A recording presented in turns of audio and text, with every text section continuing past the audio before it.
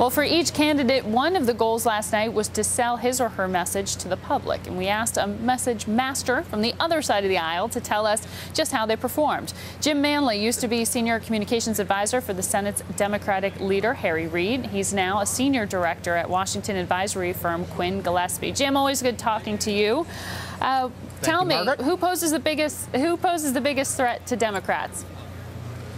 Well, I'm not so sure any of them pose the biggest threat, but if you're asking me who I thought did the best last night, it's probably Mitt Romney, though compared to some of the others, that's not a very uh, high bar uh, uh, to achieve. Uh, Romney was capable. Uh, he stuck to his talking points. It was hard to knock off message. Um, so I think probably he was, uh, you know, the victor walking away from the debate last night. Who do you think was the weakest performer? Well, that, there's an awful long list of uh, people that I think fit in that uh, category, but I got to tell you, let's talk about Herman Cain for a second.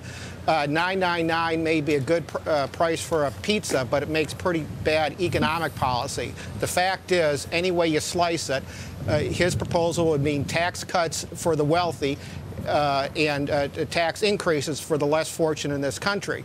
It was put together uh, by a group of economists, only one of which we know of and no one's heard of, and he refuses mm -hmm. to share any of the details. That was pretty weird, I got to tell you. Uh, uh, but having said that, also per performing very poorly was uh, former Speaker Newt Gingrich. His rhetorical excesses know no bounds, and all he's doing now is trying to play for attention any way he can get it.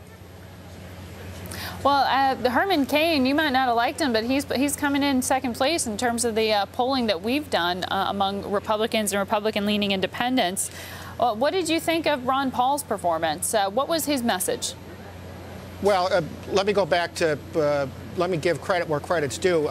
strictly from a message perspective, I think Herman Cain did a, a, great job in trying to sell his proposal last night, flawed that it, though it may be again, in this business, in this business, repetition is key, and he sure as hell uh, stuck to that.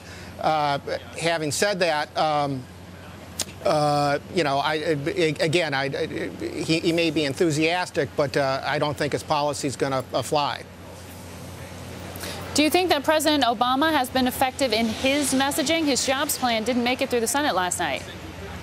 Well, it did make it through the Senate last night, but the, record, uh, the Republicans are on a record once again of voting against efforts to promote uh, jobs and stimulate the economy.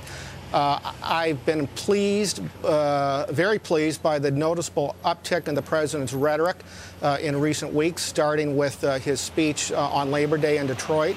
I think he's doing a, a, a much better job of trying to uh, highlight the differences and the contrast, but he's also putting, uh, you know, real solutions uh, to current problems uh, uh, on the table for discussion.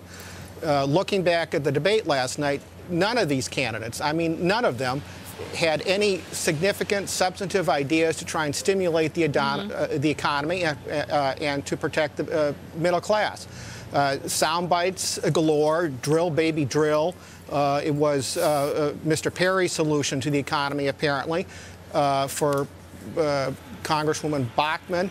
her best proposal was to attack the Fed.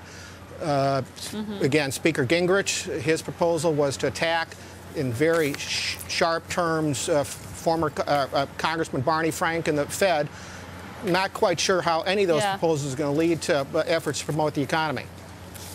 So, so Jim, none of the eight made you switch parties last night. I, I got that clear at least. thank, thank you very much, Jim, Jim Manley. Always good talking to you from Quinn Gillespie.